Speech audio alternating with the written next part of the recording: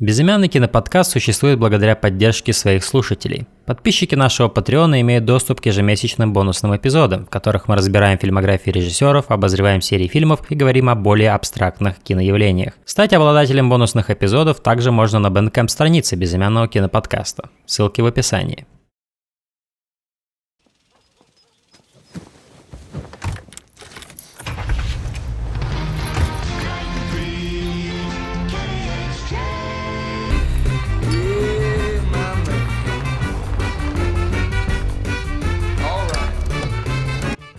Ну хорошо, ну хорошо. У меня на шестом месте «Однажды в Голливуде» Квентина Тарантино.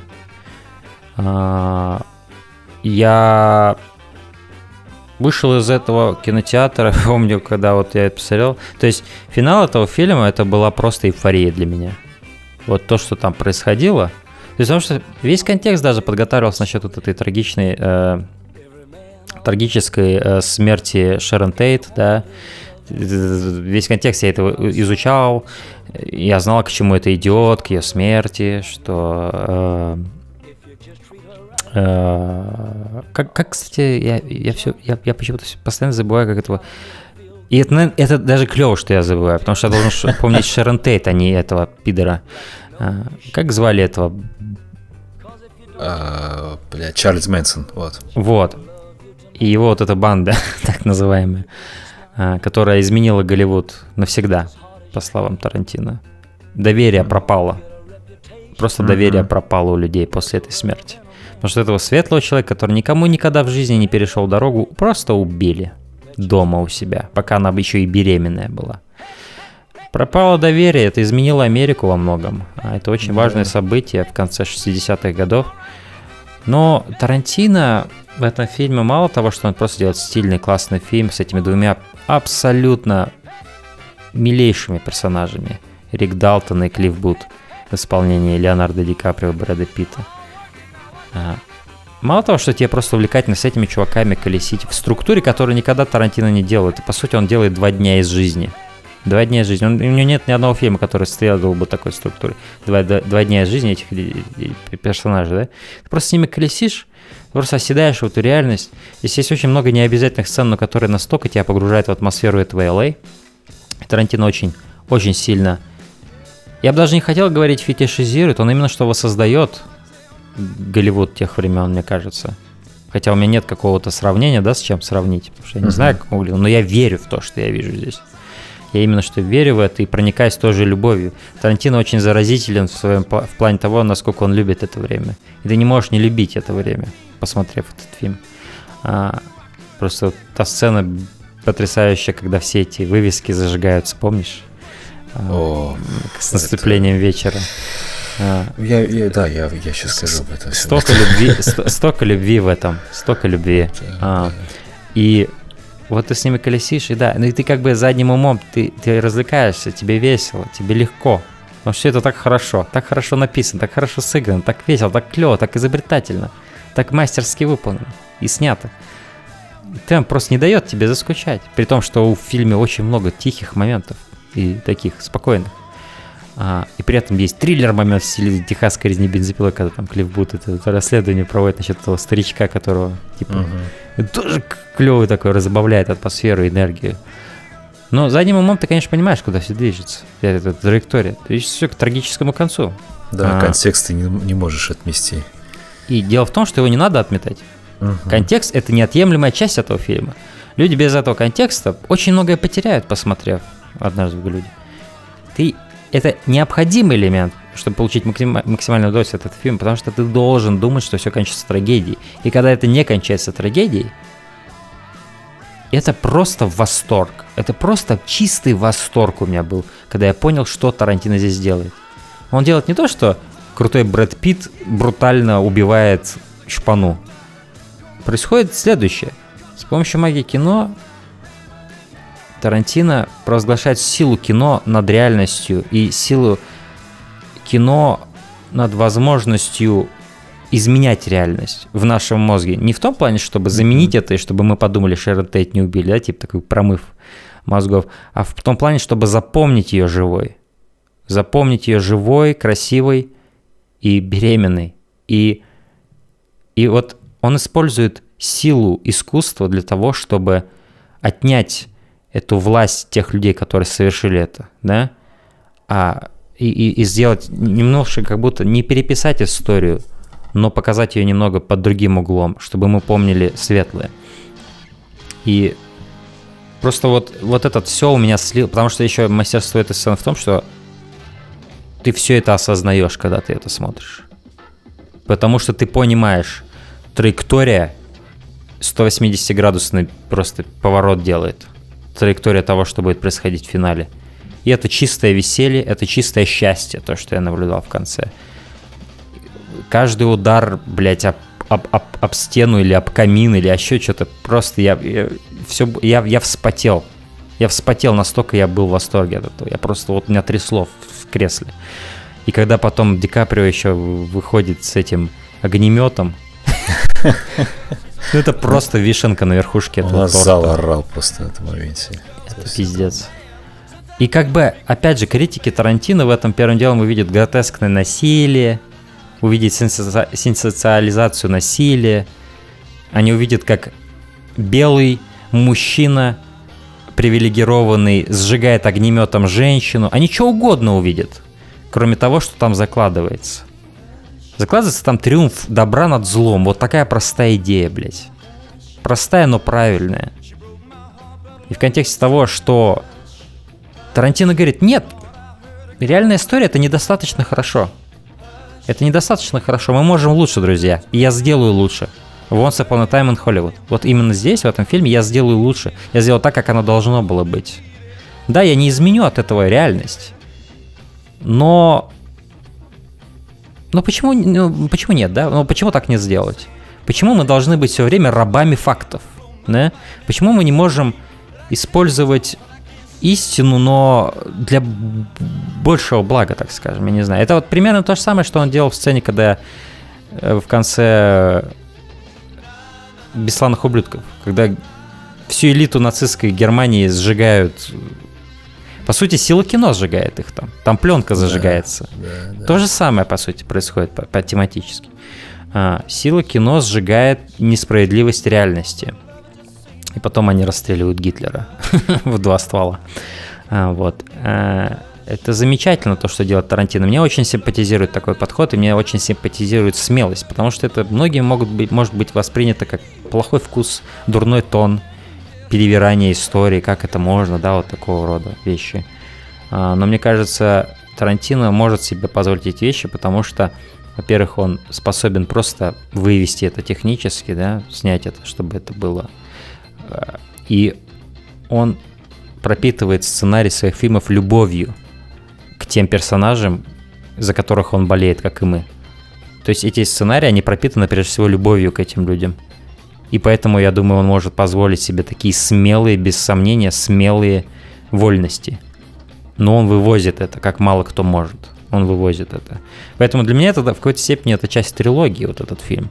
Трилогия, в которую входит Джанго Освобожденный, где он, по сути, борется с несправедливостью рабства и расизма в Америке. Э, борьба его с Холокостом, так скажем, в, и вообще, в принципе, да, с тем, что произошло во Второй мировой, вся эта несправедливость в «Беславных ублюдках». И вот здесь вот этот вполне конкретный, персонифицированный в одном человеке акт просто зла. Беременную женщину убили. Ни за что. Давайте запомним ее живой. Давайте я вам покажу, что она живет в мире кино. Угу. Она живет в искусстве. Это на стольких уровнях правильно для меня. Это вот, это меня вдохновляет, когда я такое вижу. А, поэтому таково мое шестое место. Прекрасно, просто прекрасно. Окей, мое шестое место – это весьма неожиданный выбор, был для меня очень интересная история, но Виталина Варелла – этот фильм я посмотрел чуть ли не буквально в день записи подкаста. Возможно, эта оценка сейчас на эмоциях, возможно, на пересмотрах, а я буду пересматривать эту картину, он рейтинг будет гораздо ниже, но я влепил 5 из 5. А... Проблема в том, что я даже, я попытаюсь хоть как-то объяснить все свои эмоции от этой картины, но это будет крайне тяжело сделать. Для начала просто скажи, о чем этот фильм, потому что я, я не имею представления, в чем сюжет этого кино. Сюжет достаточно все очень максимально просто. Виталина Варелла, это, кстати, имя персонажа и имя вообще актрисы. То есть здесь не профессиональные актеры вообще, то есть mm-hmm. э, это имя персонажа и имя актрисы самой. Приезжает э, в Лиссабон, чтобы, так сказать, э, ну, как бы похоронить своего мужа я так понимаю, который, э, ну, он 25 лет назад ее бросил, уехал в Португалию, и э, как бы от него не было ни вестей, ничего. Вот она приезжает к нему и узнает, что он, оказывается, был уже похоронен три дня назад, а, и теперь все вещи, которые были у него, они выброшены, то есть э, для нее здесь ничего нет ну, какого-то такого личного. То есть ей лучше бы вернуться обратно, а, обратно в Африку. Это она приехала, если я а, не помню, Кабо Верде. Это где-то возле там, короче, Африки какой-то эти острова какие-то. Это достаточно, ну, я буквально, знаешь, когда смотрел этот фильм, я буквально вот гуглил, потому что все эти места, потому что я вообще не знаю, ну, ни историю Португалии, там ничего, ни какие-то географические особенности, поэтому приходилось, чтобы хоть как-то понимать контекст фильма, на мой взгляд, это важно. И этот фильм нашел буквально просто вот случайно, опять же, лазая по страницам фильмов 19 года на Letterboxd, и меня привлек постер. Постер там был а, такой очень а, такой артовый э, рисунок, где вот эта сама Виталина нарисована, из нее такое деревце как будто растет. Меня он привлек, мне просто эстетически, эстетически очень понравился. Я посмотрел, у него достаточно небольшой рейтинг, но этот фильм долгое-долгое время просто негде было возможности посмотреть. Я такой, и что-то, знаешь, меня так что-то гложило, потому что я увидел трейлер этого фильма, я увидел, как, как фильм выглядит и какая у него атмосфера. Я очень захотел посмотреть. И вот буквально вот, по сути, там на днях вот перед записью подкаста вышел этот фильм, я его посмотрел.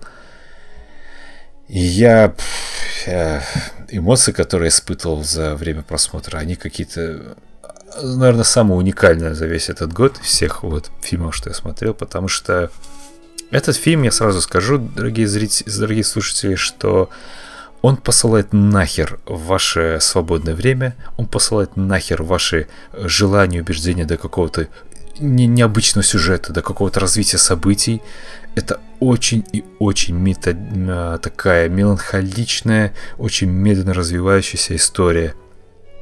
По сути, история общения человека уже как будто вот с умершим человеком, своим там родственником, да, в данном случае вот мужем, которому ты, видимо, что-то недорассказал, что-то ты угу. недопонял, не до конца осознал мотивацию его поступков, которые навредили, допустим, тебе.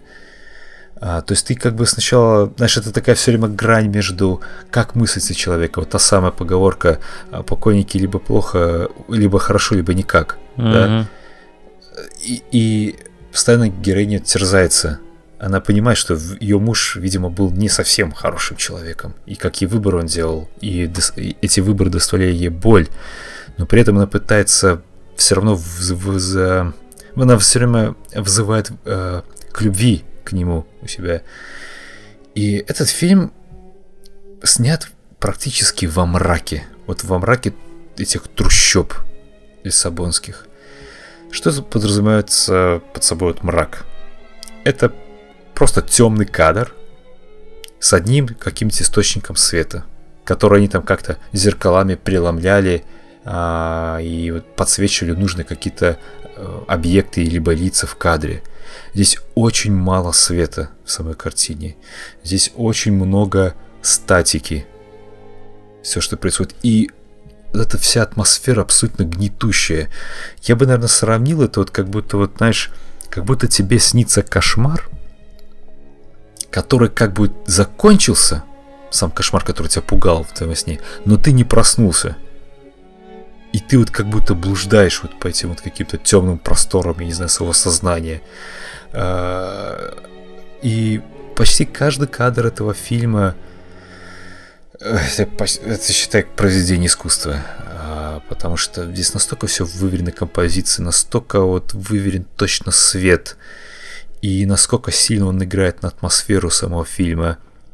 И ты чувствуешь почти в каждом кадре упадок и а, какую-то вот ментальную боль этих людей, иммигрантов, которые приехали, э, по сути, даже, может, не зная языка в Португалию, как они пытаются там жить и работать. Тебе ничего не показывает особо их быть, но ты хотя бы, ты просто уже, видя эти интерьеры, видя эти лица, это как, знаешь, вот лица, как у, не знаю, как у фильмов Германа, когда вот, э, ну, это не актеры загримированы, это настоящие люди, настоящие работяги, руки у которых уже там забагровели, опухли, не знаю, от труда, лица покрылись морщинами, и с жестким светом это все так вот ночным еще больше сильнее подчеркивается. В этом фильме нет музыки вообще. И все два часа ты просто слушаешь героев, как они вот буквально шепотом с друг с другом общаются. Как они а, блуждают в потомках, в потемках своего разума, пытается в себе разобраться. И саунд-дизайн еще построен так, что ты... Там вот, ведь они живут в таких вот лачугах практически вот. Ну, ты должен представить, представь себе визуально фавелу какую-нибудь, да, ты наверняка видел там, там же Max Payne 3 или каких других фильмах, да. Вот они в таких лачугах живут, и понятно, что слышимость там просто какая-то нереальная. И постоянно почти весь фильм ты слышишь, как вот за стенкой кто-то постоянно гремит, общается с кем-то, ругается, что-то такое, и ты вот постоянно находишься в этом вот окружении вот какого-то гигантского муравейника. Таких Где нету личного ты... пространства, да? Да, но ты себя ощущаешь вот таким малюсеньким-малюсеньким. У тебя проблема тебе кажется она гигантской для тебя, но ты понимаешь, что ты просто такой муравишка, который бегает в пучине вот этого вот мрака. Я, не, я уверен, что э, многим этот фильм не понравится. Это, опять же, такое очень, скажем так, личное кино для каждого. Но хочется применить, наверное, очень пошлый термин, такой трансцендентный какой-то эффект был вызван, потому что это, по сути, единственный фильм в 2019 году, который вот я смотрел, и я просто уже, знаешь, как-то немножко потерял нить сюжета фильма, я просто стал думать о себе – то есть мне всплывали какие-то эмоции, воспоминания, которые были, возможно, схожи с эмоциями фильма. И, э, не знаю, на мой взгляд, это произведение искусства. Вот чисто произведение искусства. Очень тяжелый фильм был для современного зрителя. То есть у него рейтинг даже на этих Rotten Tomatoes 98 у критиков, 57 у зрителей. Ожидаемо. Потому что ты описал, это имеет смысл. Да, и э, возможно кому-то покажется очень претенциозной, невнятной какой-то под, историей, с невнятной подачей, э, но меня этот фильм поразил просто своей какой-то вот оригинальностью и той атмосферы, которую он себе хранит. И я не, прогадал, не прогадал, что вот мы достаточно так вот долго оттягивали подкаст, запись, Потому что мне что-то мне хотелось посмотреть этот фильм. И вот он переместился аж, блин, на шестое место моего топа, топ-10.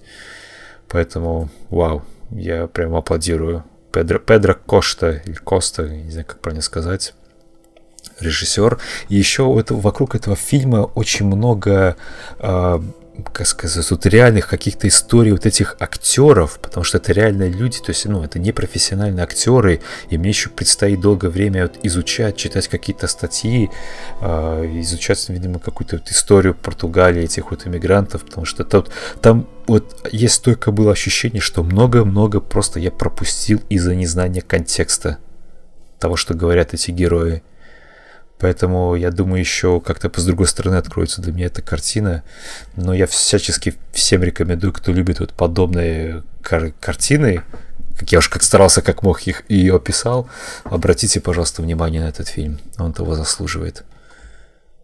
Я не посмотрел его, к сожалению, но обязательно сделаю это в ближайшее время.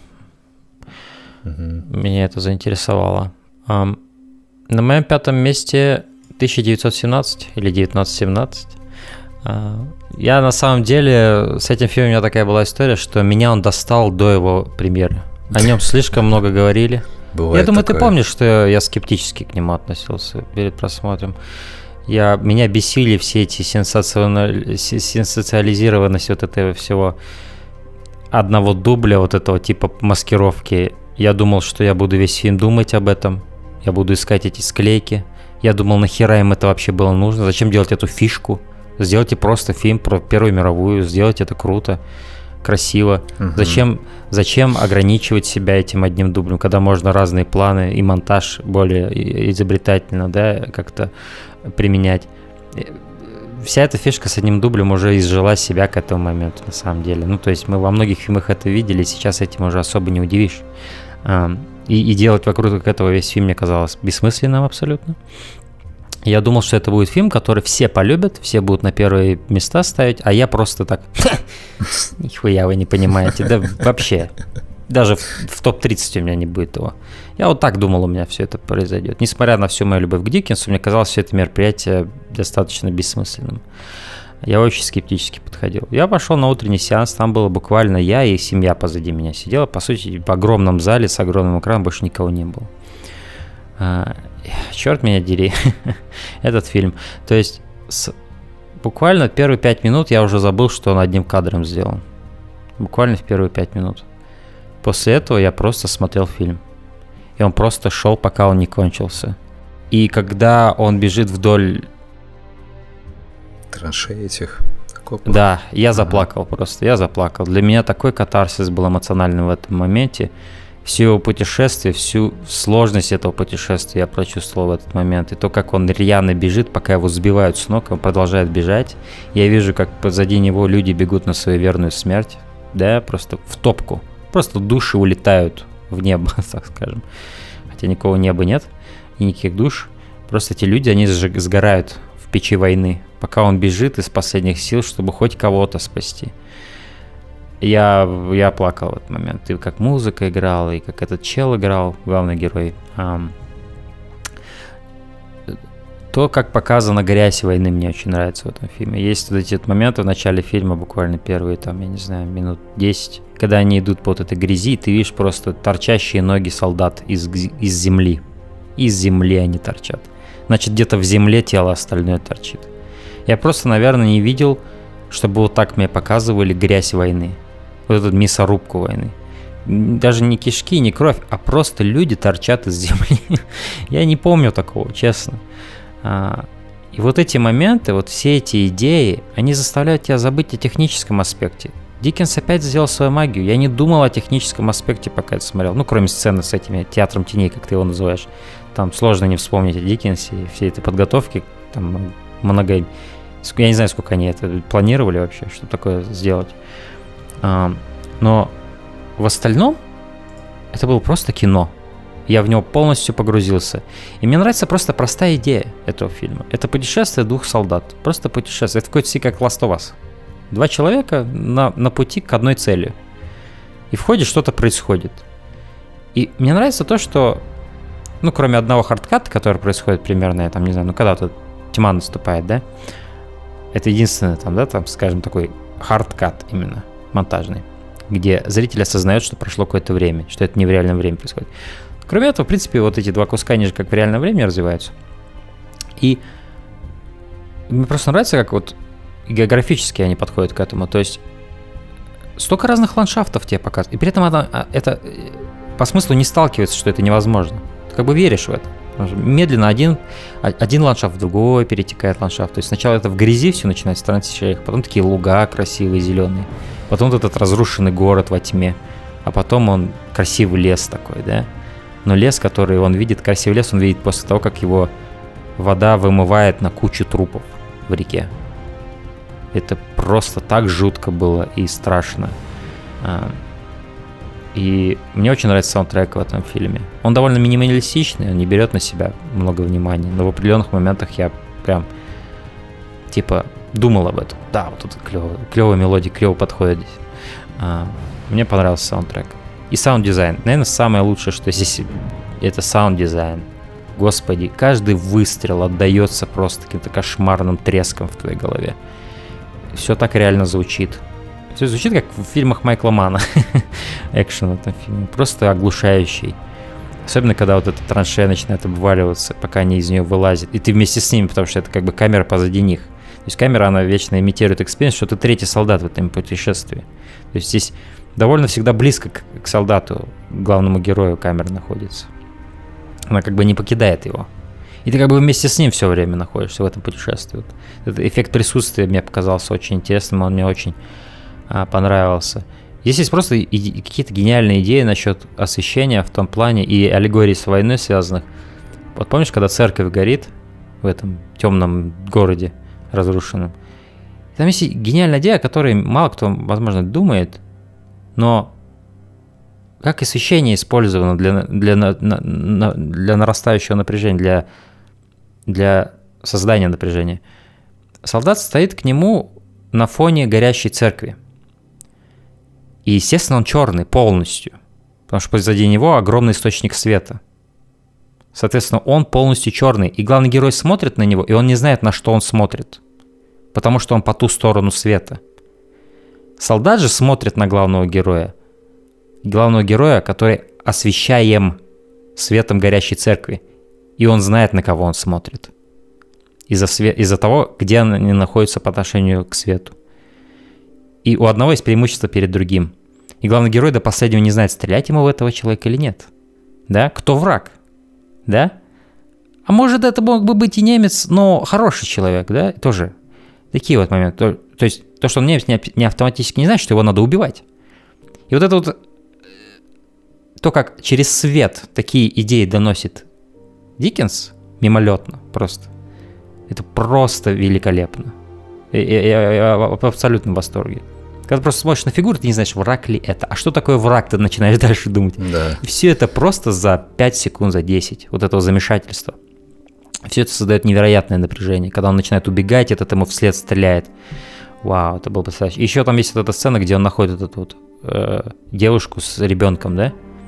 Вот этой вот ты заметь, насколько минималистично там вообще в плане интерьера все. Там буквально стол, кровать и камин, который да, горит. Да, по сути, в подвал там чуть ли не сбежала. И для меня это аллегория семей. Всех семей, всех солдат в мире, которые уходят на войну. Они оставляют их там. Поэтому там так мало интерьера, потому что Мгм. это не специфическая семья, это идея семьи, которая остается позади, когда солдат уходит воевать. Он бросает их. Ты не можешь уйти на войну, не бросив семью. Ты, ты, ты автоматически совершаешь акт предательства. Именно таки, так себя чувствует главный герой, когда уходит. Он ощущает, что он их предает, когда он уходит. Ему не, нехорошо на душе, но ему надо идти дальше, чтобы выполнить свою миссию. Это опять же такая аллегория внутри просто одной маленькой сцены.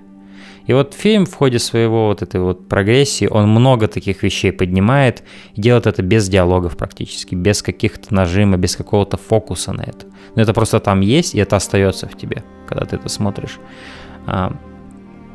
И да, фи- фи- финал, когда все начинается с того, что он встает, он лежит около какого-то дерева, стоит, и заканчивается почти тем же, да, он к стволу дерева просто так прислоняется, да, его путешествие закончено. И это мне нравится тоже. Это такой цикл за- замыкается. И, и что самое страшное, фильм кончился, но для этого чувака война не кончилась, она дальше продолжится. Для меня, для меня страшно было то, что это... Ты просто знаешь, ты с ним так пронес вот это письмо, да? Мгм. А ему просто говорят, типа, ну все, хорошо, молодец. Ну, типа, в этом смысла особого не было, потому что придет другое письмо, и там другой будет Да. приказ. И ты такой, вау. Мгм. То есть Ты- ты ожидал Да. какую-то награду для героя, что-то такое. Еще ничего. дело в том, что ты думал, что это путешествие, вот это ужасное, тяжелое путешествие, ты думал, что оно обладает каким-то весом для войны, в смысле. Ты, а, а, ты думал, что ты делаешь что-то важное. Ну, точнее, что главный герой делает. Я так говорю, что ты, потому что ты как будто вместе с ними находишься все это путешествие. А в конце ты узнаешь, что это вообще, ну, мало что значит. Вот, вот, потому что война, она гораздо тяжелее, чем то, что ты увидел. Она гораздо тяжелее. И вот это осознание, оно бьет тебя в конце. И ты такой по-настоящему оседаешь в кресле и такой, ё-моё. И как бы все. И э, фильм заканчивается на вот этом солнечном свете, жизнь идет дальше, и люди продолжат умирать и убивать друг друга. И, и вот да, это, это, это, то есть я вообще не мог предположить, что этот фильм мне настолько понравится. Я видел в этом чисто техническое дрочево какое-то перед фильмом, что с этим одним тейком они ради него только этот фильм делают. Но у этого фильма очень мощное эмоциональное ядро, которое было мотивировано, оказывается, тем, что у главного героя Сэм Мендес, он про своего отца, по сути, фильм снял. Э, его отец на подобной миссии находился во время войны. А, или его дед, я точно не помню. Одно, возможно, дед. По-моему, отец, он говорит, но я не знаю, как это. Наверное, возможно. Не знаю, сколько Сэму Мендесу лет. Но он говорил, что его отец, будем говорить отец, а, что он был очень низким, у него был метр шестьдесят, что ли, рост или что-то такое. И э, там была такая миссия, что типа на, на поле боя стоял туман высоко, выше, чем метр шестьдесят. Его послали передать послание, потому что он может под туманом бегать, что его не увидит. И, и он с этим письмом один бежал в одиночестве. Или, по-моему, с напарником. По-моему, один он бежал. Чтобы передать вот такое вот послание. И вот он про это, по сути, этот фильм и снял. Ну, конечно, более драматично, с большим масштабом в данном случае, но коренная идея та же. Вот. И поэтому, я думаю, эмоциональное ядро такое мощное у этого фильма, потому что за ним кроется реальная мотивация рассказать историю очень близкую этому человеку. Э, вот, поэтому 1917, пятое место. Mm. Меня с таким фильмом про Первую мировую не покидает еще такая мысль, что смотришь на эти все разрушения, войну и там и так далее, и мысль проскакивает, блин, а ведь еще все еще впереди. Угу. Это как типа разминка. Да, еще все хуже и хуже будет. Да. да. Так, так, так. Пятое место. Пятое твое. место. Пятое место Паразиты. Пон Жинхо. Mm-hmm. А, я с этим фильмом, а, точнее с реакцией на этот фильм, достаточно странные такие вот э, вещи творятся в моем просто мироощущении, я не знаю, потому что с одной стороны она немножко начинает, начала уже подбешивать, дошло до того, что э, паразиты стали вдруг внезапно черно-белым фильмом, они заново вышли в прокат в черно-белом варианте. Для меня это до сих пор загадка, я не понимаю, типа, зачем рушить настолько цветовую гамму, которая была еще специально спроектирована да, для рассказа этой истории в черно-белой, я... Ладно, хорошо. Но потом я все же отсек от себя вот этот весь э, багаж раздражения, вот э, восприятия этого фильма, и все же я просто понял, что фильм характеризует одно слово – перфекционизм. Перфекционизм в режиссуре, в операторской работе, в сценарии. Это вот три столпа настолько вот плотно переплелись друг с другом. Ну и там, конечно, сопутствующая, сопутствующая музыка, монтаж и так далее. То есть здесь настолько все продумано, прописано, и, что ты просто поражаешься, насколько вот мыслительный процесс Пола Джин-Хо вообще как кинематографиста, насколько он далеко может заходить во всем этом. Я в какой-то момент даже был поражен, когда появились эти ролики, которые показывали специ... специальных эффектов, спецэффектов, которые были использованы в этом фильме. Я даже не думал, что такое количество их здесь применено, что даже дома они построили специально для съемок э, этого самого это, этого фильма.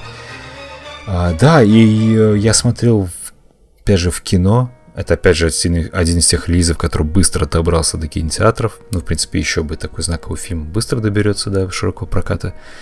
И я был на одной волне с э, весь всем залом, потому что сначала, да, ты смотришь как комедию, а, все смеются, ты тоже вместе с ними, потому что действительно юмор работал.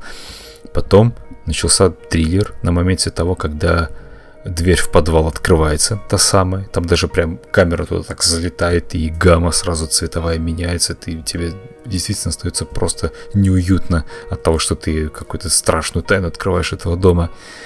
Вот, и я помню, мне еще концовка этого фильма дала такую нехилую пощечину, а, когда, помнишь, он письмо читает, а тут и сначала как бы главный герой, там, э, паренек фантазирует, что типа все хорошо, там все так разрешилось, все благополучно. А потом оказывается, что он это письмо читает отцу и говорит, что когда-нибудь это типа случится. Меня это так, помню, пробрало. И есть я подумал, блин, ну не может же Пун Джин Хо закончить вот эту историю вот таким вот типа смазливым хэппи-эндом. Нет, оказывается, не может и не собирался. У него были совершенно другие планы на этот счет. Да, я, в принципе, просто рад за Пона Джин Хо, что он получил вот эту всю славу и Оскар и прочее, потому что, черт возьми, он все-таки заслужил это, потому что Пон Джин Хо это, наверное, такой корейский Спилберг, наверное, я не знаю. То есть, ну, это да, вот... хорошее сравнение. Это очень знаково. То есть я там слышал даже, что а, в Корее, в принципе, в Южной Корее к кинематографу особое отношение. Его встречали, как, не знаю, как олимпийского чемпиона обычно, знаешь, там самолеты с трапа, там все, ура, ура, там.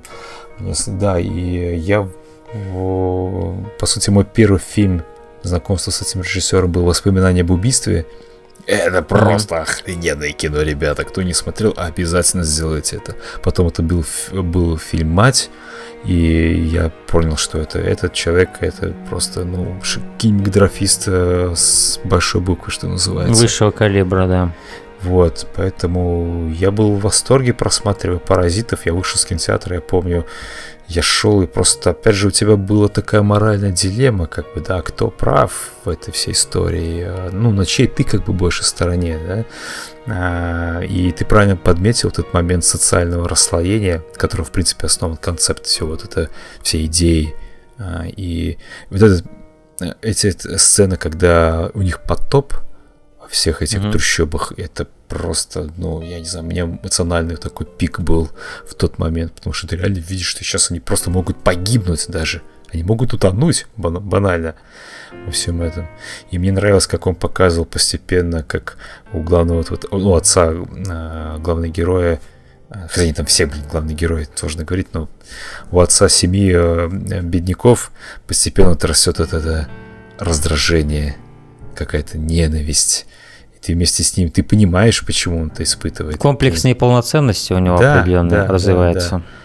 А, и... Сон Кан Хо – это гений.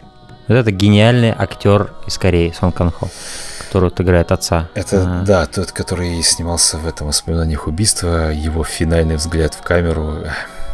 Да. Это да, это, это один из самых таких пробирающих меня финалов в кино вообще. Да, это не имеет смысла описывать, это нужно видеть. Поэтому пятое место «Паразиты», ну, это шедевр, на мой взгляд, и я не собираюсь как-то принижать оценку фильму из-за того эмоционального, сверхэмоционального Вокруг него шума, который там вот... Много шума, много ажиотажа, который да. раздражает, Но, я с другой стороны, я согласен, я ну, как бы рад за Пон Жун Хо, что на такой фильм среагировали, нежели, допустим, как среагировали на Джокер, например. Ну да, да, лучше уж так, чем Джокер, как бы, Поэтому такое пятое место. Что интересно, Ариастер, которого я уже столько хвалил, будет делать как раз для HBO, по-моему, телеадаптацию «Паразитов». Интересно, что из этого получится. Не знаю, вот честно, да. честно не знаю. Ну, режиссер как минимум хороший, посмотрим, что будет. Ну да. Может, поэтому Бон Джун Хо его так нахвалил. Промо-компания уже заранее готовится. Да, все уже началось. Все, раскусили, блин, план. Раскрутка началась. Mm. Окей, на моем четвертом месте «Маленькие женщины» Греты Гервик. Эм, мне просто... Я просто обожаю атмосферу и просто, бля, я, это будет фильм, который я буду много раз пересматривать просто потому, что, вот как ты говорил про Виталина? Про... Нет, про Pain and Glory, по-моему, ты говорил, что это фильм, который исцелил твою душу, типа, да? Да, что, да, типа, да. Что это фильм, который вот ты вот смотришь, и просто это так приятно у тебя, да, на душе. Это вот этот фильм для меня Little Women. Это самый feel good movie, наверное, года. Несмотря на то, что в ходе фильма происходят некоторые довольно жесткие вещи, и печальные, и горести много в этом фильме. Но в нем такое женское сердце в этом фильме, такое такое, такая энергия у этого фильма. Только женщина могла такое снять. Мужчина никогда бы не смог такой фильм снять, как Little Women Грета Гервик. А, и это как бы классика литературы американской, насколько мне известно, а, которую в адаптации которых около 10 фильмов уже, наверное, было снято. То есть это очередной фильм, по идее. То есть это один из тех, одно из тех произведений, которые время от времени, раз в 10 лет, кто-то доделает адаптацию, типа Джен Эйр или там, я не знаю. Uh-huh, uh-huh. Из этой оперы. Но я об этом-то ни хрена не знал, когда включал фильм. Мне вообще было плевать, я не знал ни контекста, ничего. Я просто хотел посмотреть новый фильм Греты Гервик, второй по счету, после Леди Бёрд, очень успешного дебюта. И было очень просто интересно посмотреть, как начнется ее траектория действительно. Потому что это хорошая отправная точка, но куда поведет ее траектория дальше? И с этим фильмом она просто взмыла вверх. Это 5 из 5. Эм, это, это высшая оценка от меня. То есть это, это просто такой, такой добрый, теплый и... То есть во многих аспектах он немножко может напомнить стилистику каких-нибудь 90-х, в том плане того, как сценарий развивается и как драматургия работает но это все пронизано, в этом нету какого-то расчета для меня, я не, не увидел здесь это. Это как, знаешь, вот как, э, как фильм 90-х, и мы вот так говорим про фильм, как будто они все плохие такие, да, и, значит, все такие чисто поп, поп, э, попсовые и так далее, да, там было много хороших таких фильмов, но это, все-таки это такая более коммерческое кино, мне кажется, 90-е, более коммерческое, менее авторское, как мне кажется, если мы говорим об американском кино. Такое у меня ощущение. Здесь же она умудряется совместить и коммерческий, и авторский момент в том плане, что это явно дорогой был фильм, гораздо более дорогой, чем «Леди Бёрд». А, здесь больше локаций, тупо весь, все костюмы эти, все, я не знаю, сколько было денег, конечно, в это вложено. С «Леди Бёрд» сравнивать здесь, по-моему, нет смысла. А, все было снято на пленку. Фильм выглядит очень так, ну, как фильм, действительно. То есть он обладает этим целлулоидным вот этим вот обликом, который никак не подделать все-таки. А, он просто ощущается как какая-то классическая история и переносит тебя в этот. И причем с точки зрения того, как разговаривают персонажи, это примерно как вот Грета Гервик делала, о, как София Коппола делала в, а, в Марии Антуанетте.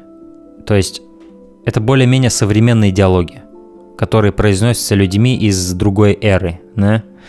А, э, а здесь эра, то есть сразу после гражданской войны в Америке э, показывается. По сути, да, ты наблюдаешь за вот этой семьей, где только дочки рождались, их, по-моему, пятеро дочерей. Играют их э, Серша Ронан, Флоренс Пью, э, Эмма Уотсон, Элайза Скенлен, э, и саму мать играет Лора Дерн, которая здесь потрясающая. Лора Дерн здесь потрясающая. Вот здесь она больше заслуживает за, блин, мне кажется, за, за роль второго плана даже, чем в Marriage Story. Здесь также играет Тимоти Шаломе, сразу плюс. Мэрил Стрип играет сварливую бабку, а, бабушку а, главной героини. А, хороший. Боб Оденкерк играет отца, который Сол из Better Call Saul. Отличный кастинг. И да, все с точки зрения вот период, показа пери, периода вот этого, костюмы, грим, все вот это. Да, и просто сама история, ну просто, это просто вот как греет мое сердце, мою душу, вот эта атмосфера этого фильма, сама ее история, драматургия как выполненная, юмор, комедия э, и более серьезные моменты. Это было просто вот как раствориться в ванной в какой-то после долгого рабочего дня, просто а, как это мило, как это как это хорошо просто ощущать этот фильм. А, поэтому он так высоко. И просто, да, то, что у этого фильма очень провозглашенное... Он о женщинах. Little Women называется. Он снят женщиной, и он вот этим э, каким-то материнским, каким-то женским духом обладает очень сильным, который мне интереснее и интереснее из года в год вот такие истории смотреть о женщинах, неважно с кем, кем они сняты, мужчина или женщина, чтобы они были правдивый, правда женская. Вот, вот это мне из года в год все интереснее и интереснее такие истории смотреть. И это вот один из тех фильмов, который делает это восхитительно. А, ну а сами, сам сюжет, то есть это вот эти дочки, они... это в какой-то степени похоже на Invisible Life, там, только не так трагично, возможно. Um, это что, да, вот эти дочки, как их судьбы уходят... Вот они в этом одном доме вместе жили, да, семья большая. В какой-то момент они начинают каждый разбредаться по своим этим. И как они переживают эти моменты расставаний, как они переживают момент того, что этап твоей жизни заканчивается, и теперь ты сам по себе, по сути. И вот кто куда и как их судьбы формируются. Потому что в этом доме они все были счастливы. Это было замечательно. Но дальше настоящая жизнь начинается, когда ты уже выпархиваешь из этого гнезда и что происходит с тобой дальше, куда тебе дальше судьба поведет. Опять же, драматургия можем, может многим показаться очень такой стандартной, ожидаемой, да, клишейной, может даже. Но тут э, все-таки э, сила этого фильма в том, что сила его проглядывает через этот, весь, весь, всю эту структуру качество диалогов и качество актерской игры. И Грета Гервик показывает себя как один из тех режиссеров, который имеет интимное и очень близкое взаимодействие со своими актерами. В ее фильмах я чувствую, что все понимают на 100% как играть этих персонажей, и они делают это любя. Они делают это любя материал и с полной самоотдачей и с душой. Грета Гервик это один из тех режиссеров. И это крайне качество, ну, крайне ценное качество для любого режиссера. Вот такое взаимоотношение с актерами. Вот, поэтому, да, несмотря на вот эту более такую стандартную традиционную структуру, фильм, фи, фи, фильм, фильм показывает свою силу вот в этих моментах, в диалогах, которые а, происходят в течение фильма. И поэтому э, это, это оказывает гораздо больший эффект, чем, по идее, такая структура и драматургия заслуживают. То есть она, она как бы через ее труд как сценариста и режиссера, это, эта вся схема, она эволюционирует. А, и да, это просто супер теплый experience был для меня, поэтому «Маленькие женщины» Грета Гервиг на четвертом месте. Обязательно посмотрю потом. Так, а на моем четвертом месте «Маяк», «Lighthouse» Роберта Эггерса. А, я точно так же, как и ты, с первых кадров трейлеров абсолютно влюбился в этот фильм. Ожидание... Да, я с тобой все-таки соглашусь, это самый ожидаемый, наверное, фильм 2019 года.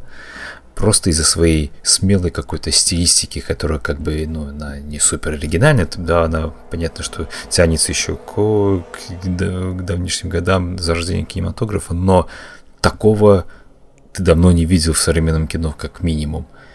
А, поэтому как и просто уже там первые кадры, когда на тебя просто стоят и смотрят эти персонажи а, Уильяма Дефо и Роберта Паттинсона. Mm-hmm. Хотелось бросать все и срочно смотреть этот фильм. Особенно мне еще привлек в трейлере звук маяка и, в принципе, весь этот mm-hmm. вот протяжный этот вот его вой абсолютно какой-то неземной, я не знаю, ты знаешь, вот как будто... Это монстр с глубин, как будто Ктулху, да, Лавкрафтовский. Ктулху, да.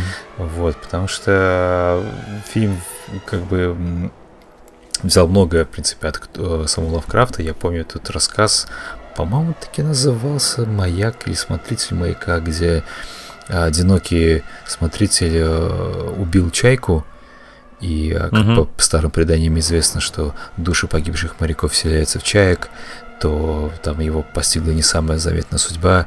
По-моему, чайки заклевали, а, что, в принципе, по-моему, даже в этом фильме проходит, да, в конце, как бы одна из таких вот версии, потому что ты долго времени не понимаешь, в фильме это реальность сейчас или это просто плод безумия. А. Да, то есть у самого фильма такая структура, что он приглашает такие интерпретации, что типа вообще да, это все не произошло. Да, да, да, было да. в голове какого-то чувака, который совершил что-то ужасное или еще что-то такое. И я абсолютно опять же с тобой согласен, что абсолютно не хочется искать, читать эти все теории.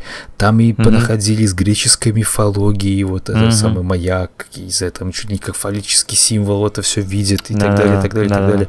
Я уверен, возможно, там это все есть, потому что Роберт Эггерс тот еще задрот, и тот mm-hmm. уровень продакшена, который был, предпродакшн, точнее, который был применен к этому фильму, то есть воссоздании всей этой атмосферы вплоть до костюмов, э, лексики, сленга, да, маяк mm-hmm. сам построили, блять, они построили mm-hmm. маяк огромный, то есть уже, ну, подразумевает собой, что там очень много все закрыто, но это все не важно, просто хочется брать и наслаждаться каждым кадром, каждой сценой этого фильма. Потому что э, я, я, я как бы немножко признаю и понимаю твою претензию, что немного вот не хватило какого-то истинного безумия, потому что трейлер все-таки к этому располагал. Ты подумал, что сейчас вот, вот 18 плюс просто распространется, да. как бы, и ты такой Я... прям, вау, да. все, вторая, да. второй томогавка.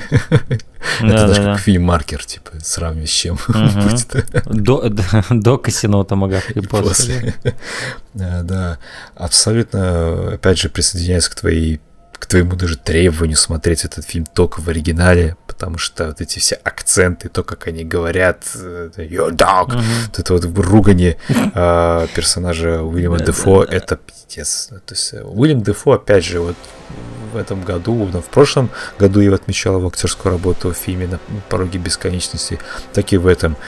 Это какой-то невероятный актер, просто гений. Uh-huh. И причем мне самое нравилось, что Роберт Эггерс замечал различия между подходами Роберта Паттинсона и э, Уильяма Дефо. То есть Уильям Дефо, он больше как он охарактеризовал типа более такой театральный актер, то есть он больше вот следует указаниям режиссера, да, то есть он такой более систематичный, что ли, наверное, к этому подходит.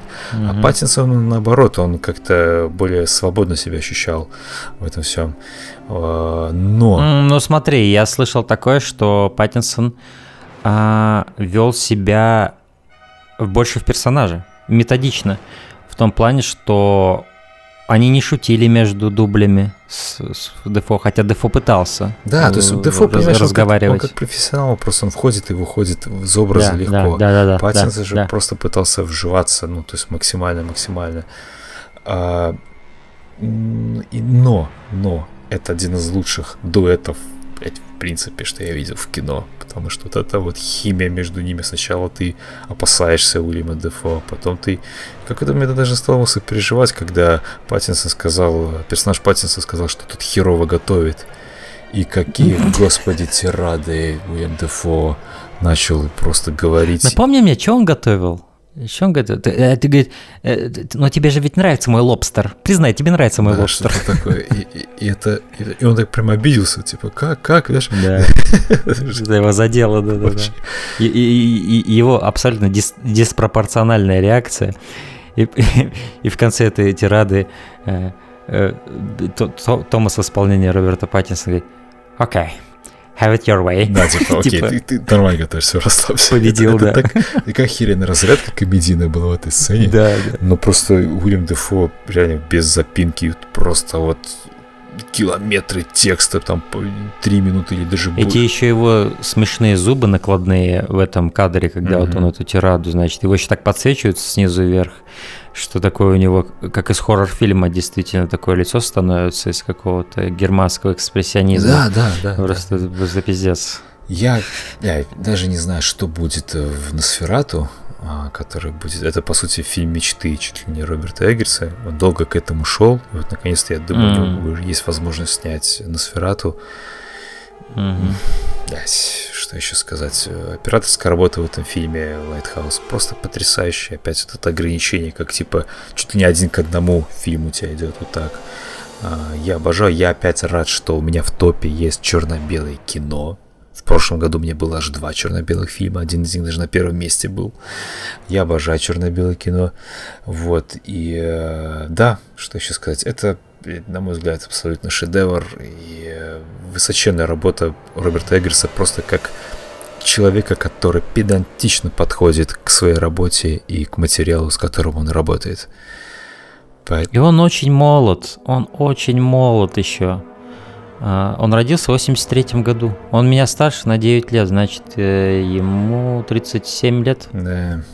Чуваку 37 лет, он уже снял Lighthouse и Ведьму. Ну, чувак э, все-таки, да, он работал, и, в принципе, всю жизнь в кинематографе. То есть он писал, видимо, там как-то все работал. Но вот «Ведьма» был его дебют, от которого я просто охренел от этого фильма. Был замечательный. Абсолютно. Вот, вот, кстати, вот, на мой взгляд, вот тогда пошла какая-то вот волна свежести от хоррор-жанра, потому что «Ведьма», причем вот при своей абсолютной вот Блять, ну это история взята из этих, из сказок, по сути, да, из этих вот переданий. Опять же фольклор, да. Э, но как он свежо подал этот материал, э, это было невероятно. Вот, поэтому маяк, да. Я не знаю, смотр... есть еще люди, которые не смотрели этот фильм, потому что он, он тоже достаточно громко гремел. Но, дорогие друзья, если вы этого не сделали, обязательно посмотрите, обязательно на английском языке. Это жизненно необходимо. Какой бы у вас прекрасный был, не был бы актер дубляжа, но он просто тупо не справится с этой работой, чтобы... Да и это не нужно в принципе делать, потому что, опять же, работа, проведенная над э, воссозданием просто лексики тех людей Мгм. того периода, ну, проведена какая-то нереальная. В общем, поэтому, да, четвертое место. Замечательно. На моем третьем месте Дылда Кантимира Ба- Балагова. Это на данный момент, я думаю, лучший его фильм, хотя я обожаю «Тесноту». «Тесноте» я тоже поставил 5 из 5. А, «Тесноту», причем я посмотрел на YouTube, и она есть вся полностью на YouTube в хорошем качестве, в свободном доступе. Ну и после «Тесноты», конечно, я Дылду начал ждать. То есть я начал разделять твой энтузиазм и действительно ждать этот фильм. Смотрел я его с матерью. И в конце я понял, окей, это один из лучших фильмов года, определенно. То есть на тот момент это вообще был лучший фильм, что я посмотрел. А, вот, на тот момент он мгм. стал первым в моем топе. А, во-первых, я просто нахожусь в восторге от дуэта актрис а, Виктория Ми- Мирошниченко и Василиса Перелыгина. Их дуэт делает этот фильм на самом деле. Их дуэт делает этот фильм. А, и да, очень жесткая атмосфера этого фильма. В начале фильма происходит нечто очень жесткое, и при этом интимность, с которой это было снято, она усиливает эффект без какого-либо саундтрека или наезда камеры, или еще какой-нибудь манипуляции. Ты Просто смотришь и поверить не можешь в то, что происходит. А, и последствия войны хорошо отображены на людях. И сам фильм это такая некоторая аллегория на самом деле, да? То есть эти две героини, это не обязательно две именно эти героини, это две идеи. Две- два ветерана, женщины-ветерана, которые вернулись с войны, но не вернулись с войны, по сути. Вот. И травма, которая есть после этого, и как вот это поколение надеется на следующее поколение и даже использует его, возможно, даже в какой-то степени в какой-то степени даже, возможно, эгоистично для того, чтобы ослабить свои раны и свою травму от произошедшего. Ну, то есть надежда на то, что Да. ребенок решит твои проблемы, так скажем. А, Твои проблемы, которые не будут решены до, своей, до самой твоей смерти, к сожалению. Но при всем при этом все-таки фильм кончается, я бы сказал, на позитивной ноте, на ноте, на ноте боли, но на ноте а, надежды. А, надежды. Я не буду говорить, что там происходит в финале, разумеется. Я хочу, чтобы все, кто слушает этот подкаст, посмотрели Дылда. Но да, для меня этот фильм качается все-таки на немножко приподнятом таком. Э, Сцена застолья, о которой ты говорил, это одна из моих любимых, еще и потому, что как виртуозно Балагов в ней использует планы. В том плане, что большую часть сцены, 85%, это такой общий план издалека. Ты как будто издалека наблюдаешь за этим диалогом. А потом происходит этот крупный план на лицо Василисы э, Перелыгиной, Маши. И просто вот этот вот внезапный клоусап на ее лицо, это просто было как, бля, я не знаю, как разрыв ядерной бомбы для меня. Просто я несколько минут смотрю вот этот удаленный план, и знаешь, просто вот то, как вот он умело использует эти крупные планы на лица, это вот заставляет тебя ценить искусство крупного плана. Потому что я вот сейчас смотрю фильмы, и вот люди просто без разбора используют крупные планы на лица. Они просто не вкладывают вообще никакой мысли. Это просто уже ничего не значит для современных фильммейкеров, для большинства. Ну, крупный план на лицо, ну все же так делают, и я так буду делать, типа, да? Шот и реверс шот, все же так делают, и я так буду рассказывать свою историю. Не думаю даже, как можно по-другому рассказать историю. Не думаю даже, а может порой не, ну, не нужно, да, этот крупный план на лицо. И вот в этом плане Дылда это один из вот этих из, из, из фильмов, который вот умеет использовать искусство крупного плана и делает это только там, где это нужно по-настоящему и делает сцену сильнее. Э, И крупные планы обе актрисы выдерживают потрясающе, потому что, мне кажется, они обе абсолютно одаренные. Э, Что Перелыгина, что Мирошниченко. Да, это, по сути, молодые А. актрисы совсем. То есть там это... Да, это их первые роли, по сути. М, для обеих. И как бы я, я поражен. Видимо, у Балагова, как и у Греты Гервик, есть талант общения с актерами, потому что ни секунды фальши ни в одном из этих двух перформансов для меня не проскользнуло. Но для меня главным открытием все-таки остается не дылда титул, из названия, а именно Маша, Василиса Перелыгина. Я просто влюбился в нее в этом фильме, в ее образ, образ вот этой молодой ветеран, ветеранки, или я не знаю, как это назвать. А, вот в этом вот, когда она появляется такая красивая девушка-солдат, да, которая прошла через ад просто. А, и как бы она прошла через ад, она вернулась в мирное время, где ее ждет тот же самый ад. То есть ее, ее ждет нечто ужасное вместо цветов а, и фанфар. А, это так больно просто да. видеть. И мне нравится работа с цветом в этом фильме. В частности, обильное использование зеленого и красного для... То есть использование цвета для в метафорических целях и такое компетентное, оно редко бывает в фильмах. Зачастую цвету не так много уделяется мысли в кино. Но здесь же вот эти именно два цвета, и как он их использует, и, и то, что они имеют вес не только в визуальной и не только в метафорической плоскости, но и в сюжетной плоскости. Вот это платье, которое, помнишь, ей там шьют, uh-huh, э, uh-huh. которое она там одевает, хочет одеть. То есть это даже в сюжете некоторые имеет отражение. Как бы традиционно считается, что зеленый и красный это такие несочетаемые цвета, поэтому тебе вот так вот прямо четко по версии фильма показывают разграничение героинь. А, их. И для меня, я, я уловил с этих двух цветов, это цвета войны и цвета крови. Для меня лично. То есть зеленый ассоциируется с военной формой, а красный это кровь. Война и кровь, которую она после себя оставляет, и травмы, которые она после себя оставляет. Но также зеленый цвет это не только война, это еще и трава, это еще и природа, да? То есть тоже, возможно, на, на, на, надежда на какое-то будущее без апокалипсиса, так скажем, без насилия. А, вот эти два цвета, они доминируют во всем фильме, и на постере это видно, кстати. Я, по-моему, а, Роднянский говорил, что, типа, когда он спросил у Кантемира, ну, почему такое цветовое решение, он говорит, да, так это, это ржавчина жизни, так ответил. Как ржавчина да, жизни? охра. Там даже не совсем красный, он такой вот оранжево-красный, как-то охра вроде называется оттенок, и что-то в этом uh-huh, роде. Uh-huh. Вот. Да.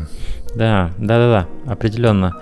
А, и да, это просто был сильный experience. Это действительно тот, тот самый фильм, который ты смотришь, это, он просто оставляет на тебе какой-то след. Какой, и ты, и ты, и это один из тех фильмов года, который больше всего путешествовал в моих, со мной в моих мыслях после просмотра. Я очень много о нем думал.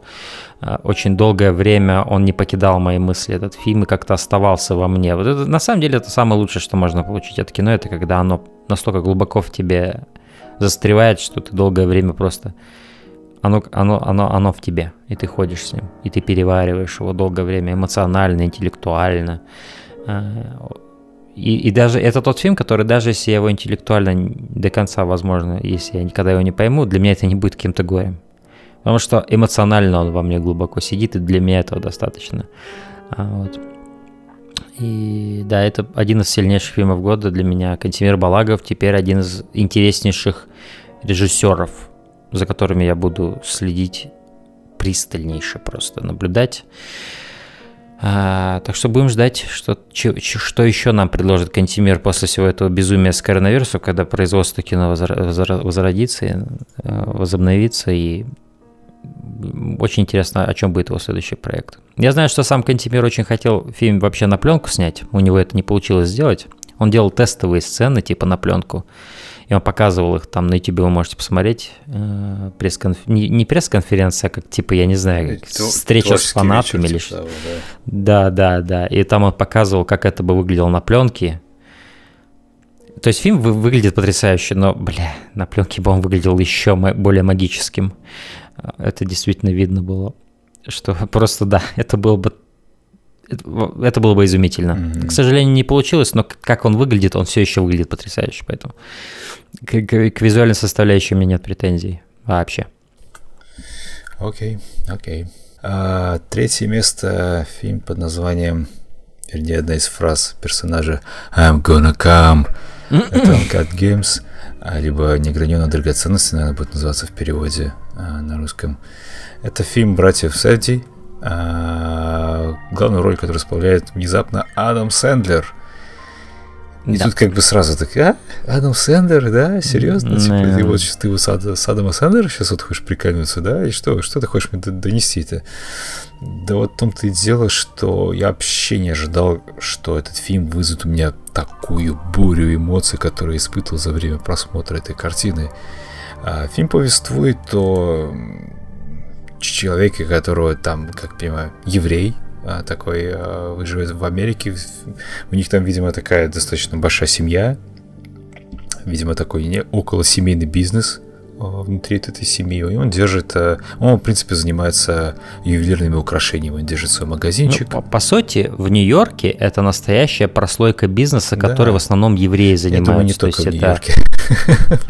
Э, да, да. Вот. И да, он как бы вот, ну, нам, в принципе, показывает то, что он достаточно такой, в принципе, успешный человек, потому что у него есть там, блядь, он отдельную квартиру покупает своей любовнице. Это о многом да. говорит. Он, мне, мне просто нравится, как он одевается. Блять, это настолько вот не, неуместно, не, неуклюже, блядь, просто вот, черная такая э, кожаная куртка, э, какие-то как это называется, мака, мака, макасины, или как это такая обувь с золотыми вставками, очень много каких-то брюликов и так далее, этих вот золотых украшений. Mm-hmm. И Адам Сэндлер в этом фильме это одна из лучших, в принципе, мужских ролей в этом году уж точно. Просто потому, yeah. просто как он отыгрывает этого персонажа. Я абсолютно не ожидал такого перформанса от него, серьезно.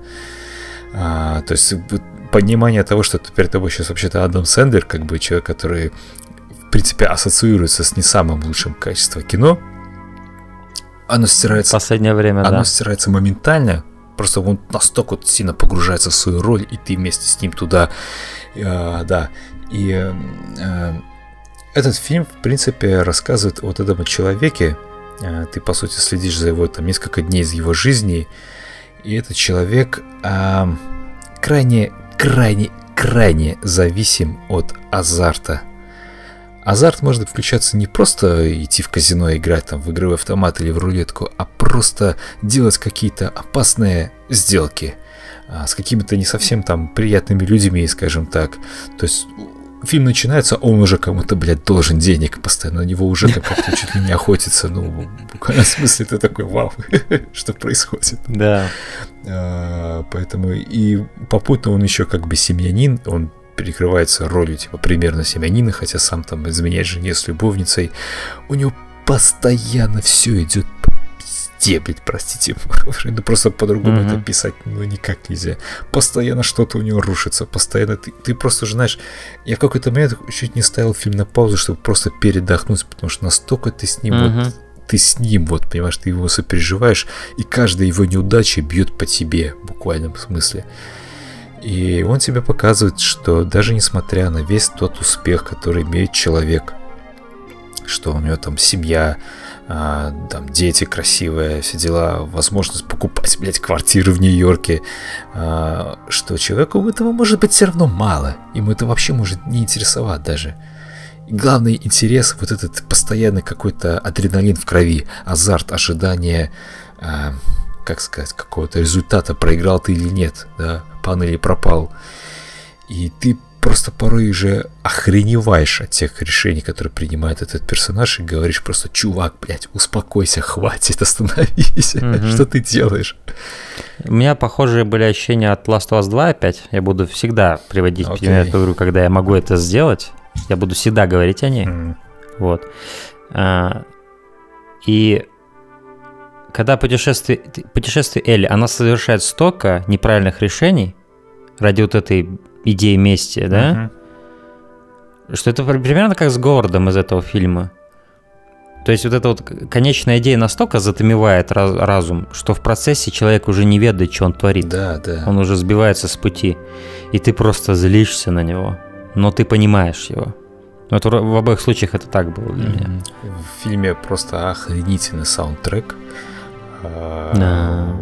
Э, Даниэль Лопатин. Да, заглавная тема Салут. которого просто вот она отражает все настроение этого фильма. Какая-то такая, вот, знаешь, загадочность и какой-то злой рок, который все время висит над этим героем, который все время попадает неуда...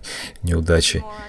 Поэтому я был крайне удивлен, опять же, что, ну, во-первых, тот эмоциональный эмоциональное влияние, на которое мне оказал этот фильм, и то, что это, об этом фильме мало говорили на самом деле, достаточно таких вот, ну, популярных кругах, потому что вот я своим друзьям просто советую этот фильм, никто о нем даже не слышал.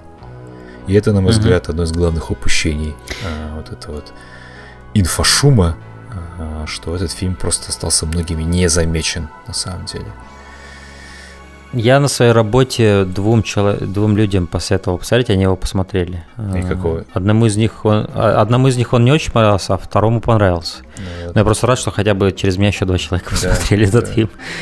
Я рад, что здесь да. играет прям целый настоящий Кевин Гарнет. Э, ну, угу. баск... И клево играет, да, причем. Да. Клево играет. Причем я сразу такой, типа, я, я сразу не узнал, такой, о, какой-то актер, Кевин Гарнет, подожди, Кейджи, Кейджи бля, это же точно тот самый Кевин Гарнет, Бостон, Бостон Селтикс.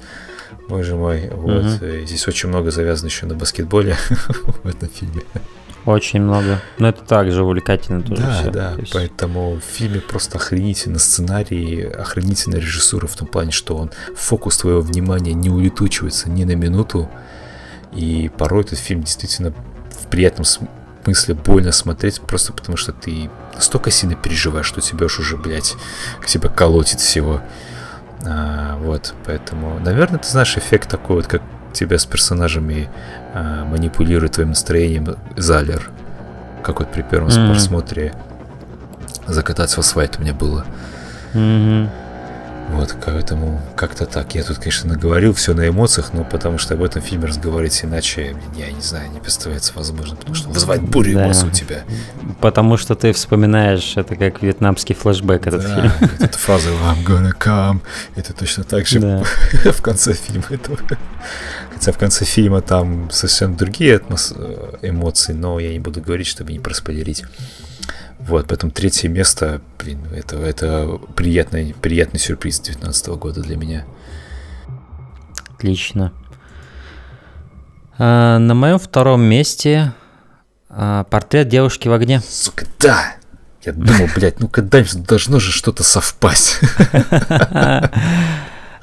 Селин Сиама. И, кстати, на Letterboxd ее рейтинг этого фильма до сих пор отражается уникальными огоньками. огоньками вместо... да. Это замечательно. Это уникальная вещь. Я, я рад. Я Слушай, рад. наши топы, в принципе, получились очень разными в этот раз, но no. я знал, что, сука, где-нибудь мы все-таки... Э, вот здесь мы, я думаю, поняли друг друга да, да. в этом фильме.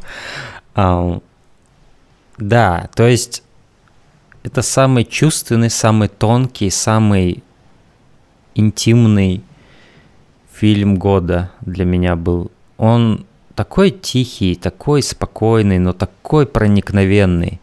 Вот, кстати, у меня вот э, есть ассоциации с Дылдой в этом плане, в том плане, что это о двух девушках, которые любят друг друга. То есть мы не говорили об этом в Дылде, но там отношения далеко не просто дружественные, особенно в конце это видно, что есть определенная э, такая, ну, любовная линия. да, да, да, да, сильная. Угу.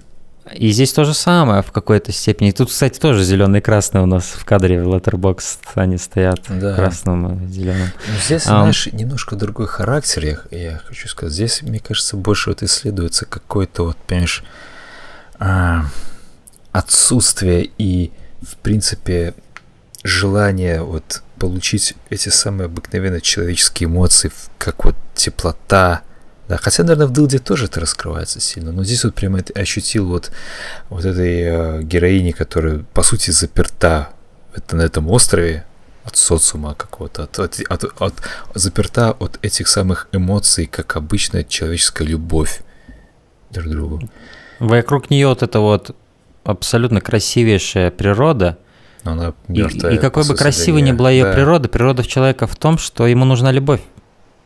В этом его природа. Моя, моя, мне кажется, что даже если бы туда приехала не обязательно девушка, а mm-hmm. какой-то просто даже молодой человек, который вот точно так же попал бы вот ее и понял ее, внутренний мир ее, конечно, про, сейчас, подожди, скажу, который ощутил ее и понимал бы ее, и она бы это тоже понимала, что этот человек имеет с ней связь, она бы тоже влюбилась в него.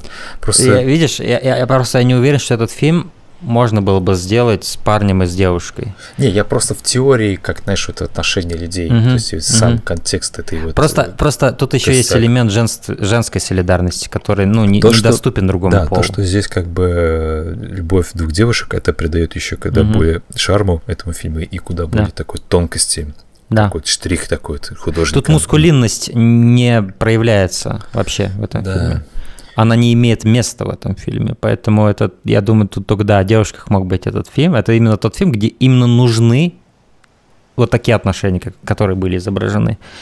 То есть это такой фильм, который вот, ты, вот я его смотрел, смотрел, смотрел, и вот у меня не было какой-то сцены типа, блин, это лучший фильм года, да, или еще что-то такое. Uh-huh. Но это просто как такое медленное сознание, что ты смотришь один из лучших фильмов года, и мне очень нравится, что в фильме вообще нет музыки практически, кроме двух сцен. Да, да, да. да и да, это да. такой эффект оказывает драматический, потому что единственный раз, когда здесь играет музыка, точнее, э, два раза, э, это вот и, и из-за того, насколько тихий весь остальной фильм, это просто бьет тебя по эмоциям.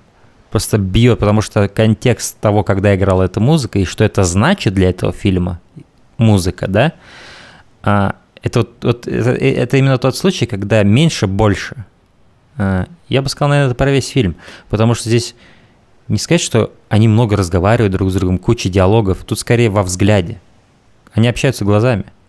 Как она на нее впервые смотрит, когда она на нее впервые видит. Да. Мне очень понравилась они... вот эта сдержанность этого всего фильма. Он очень такой вот... Угу. Э, он не стремится тебе рассказать э, и даже очень много показать что он очень-очень аккуратненько это все делает. Это действительно очень тонкая работа, и фильм просто сам по себе фантастически красивый. У него очень приятные оттенки цветов. Я не знаю, это на цифру снимался или на пленку. Я а, думаю, на пленку. Ну, вот, потому что ну, выглядит он просто восхитительно. Вот. И мне нравится... И здесь кам... есть запоминающиеся образы. Помнишь, когда они вот так обволакивают себе только глаза остаются открытыми. Да, да, да, идут так поэтому. И мне нравится камерность этого фильма. То есть он проходит вот как бы, не знаю, в декорациях вот этого, ну, как особняка, замка, да, там ограниченное количество героев в нем, и ты ты, ты буквально ощущаешь вот эту пустоту, которая вот здесь вот царит, и угу. ты еще больше понимаешь героиню, которая влюбилась, по сути, в эту художницу. А, поэтому э, это опять же, фильм для меня просто какое-то невероятное открытие. Я в нем... Я о нем узнал, по сути, из Letterboxd. Потому что там в какой-то момент стали появляться топы фильмов 2019 года. Я так перешел, смотрю, рейтинг 4 с чем-то. Я такой, ого, ого, это надо будет посмотреть. Вот, ну, конечно, ты потом посмотрел и сказал, что тебе нужно это срочно сделать. Вот. Поэтому, э, да, мне очень нравится символизм в этом фильме по поводу огня, а, как он, он и на картинах изображен, вот на картине, которую он нарисовал, да, которая в начале фильма тебе показывается, и в буквальном смысле, когда у нее платье начинает гореть на той самой сцене, когда э, там все девушки нач- начали петь, причем очень крутой стилистический момент, когда они просто начинают хором петь такую мелодию, она очень интересна по ритму такая была достаточно. Вот, и, ну, конечно, музыка в финале, блядь. Да, я, я, я плакал. Я дрожал я не, просто весь. Я не буду скрывать. Я, то есть, этот момент ожидания, повернет ли она голову или нет. Да. Это... А представь, вот как вот сейчас мы во вседоступности информации, да, то есть мы можем даже следить за любимым человеком, или допустим, когда он куда-то уехал или так. Да-да-да, а да, да, да. я тоже думал об этом. А как тогда ты просто человек исчезает из твоей жизни вообще? Ты даже не знаешь, куда письмо посылать, черт возьми. А, и... Но в этом есть романтика определенная. Конечно, Ну, да. то есть это, это, это все делает гораздо более значимым. Любая встреча, любая, любой разговор с кем-то все делает зна- значимее. Сейчас мы все настолько раз... Окей, я не хочу это превращать в тираду насчет современного. А, да, я не буду об этом. Но мне еще очень нравится просто как сюжет построен и его типа символическое значение. То есть механически, что происходит в сюжете, это то, что приехала девушка, ей надо перед тем, как... Потому что это, видимо, какая-то традиция, что надо перед замужеством, типа, Да. нарисовать последние мгновения, когда она свободна девушка, да, когда она одна. Ну там скорее для пра- практической цели, чтобы портрет отправить жениху куда-то там в Португалию Да, ты прав, ты прав. Именно. И сюжет в том, что ей надо нарисовать этот портрет. И тут двоякий момент. Если она его нарисует, ее отправят назад. Мгм. и она с ней уже не будет. И она не хочет его дорисовывать. Но как профи она должна это сделать, она понимает свою ответственность. Но еще есть один момент. Как человек, она не может нарисовать ее портрет, пока она ее не поймет.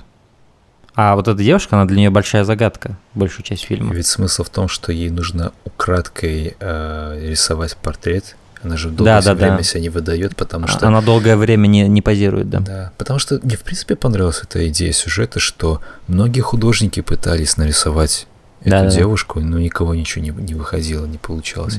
И они просто И да, ты, и, такой и ты как бы видишь, что по началу фильма она крадет ее черты, как будто. Да, да, это клево тоже. Она подсматривает и Вот. по частям собирает. И она рисует довольно неплохой портрет в начале.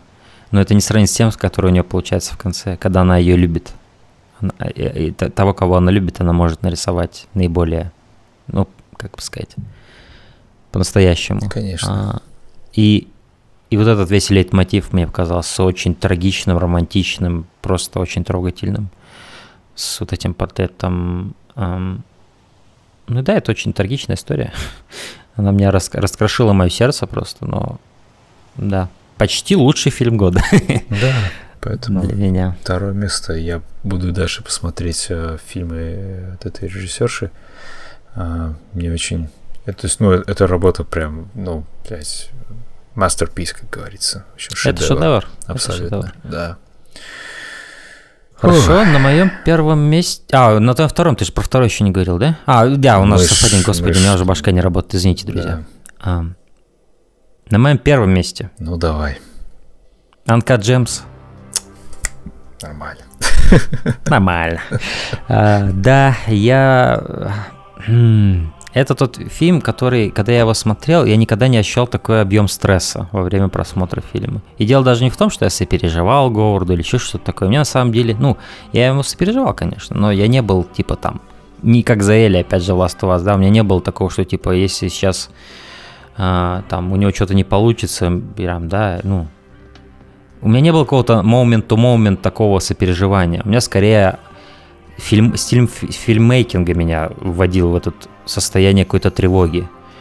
Как камера двигается, как монтаж сделан, как музыка, как кто-то постоянно в, в бэкграунде что-то, блядь, орет, пиздит, говорит.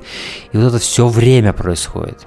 Когда кто-то не говорит, музыка на тебя давит. Когда музыка не давит, кто-то говорит. Кто-то кого-то хочет скинуть с окна. Еще что-то ужасное происходит. Все это вот в этой суете фильм погружает тебя, по сути, стиль фильма погружает тебя в будни Говарда, вот этого главного героя. Но не только в сами будни, но в то, как этот человек предпочитает видеть реальность и как он любит в ней себя ощущать. Потому что долгое время я смотрел фильм, а, и как бы я не особо, потому что у- него такой стиль у этого фильма, что ты не особо, у тебя не остается времени на рефлексию, на обдумывание, да? У тебя, просто фильм не дает тебе шанса рефлексировать. Ты слишком занят немедленными проблемами, так скажем, которые у тебя возникают перед тобой прямо в моменте, да? Ам, и у меня как-то не было особо времени задуматься, что... То есть поначалу я думал, что этот чел, он просто все время в долгах, у него нет денег отдать эти деньги. И он типа крутится, вертится из-за этого. В какой-то момент есть момент, когда он просто возвращается к себе домой, и я вижу, погодите, но этот чел роскошно живет. Да, да.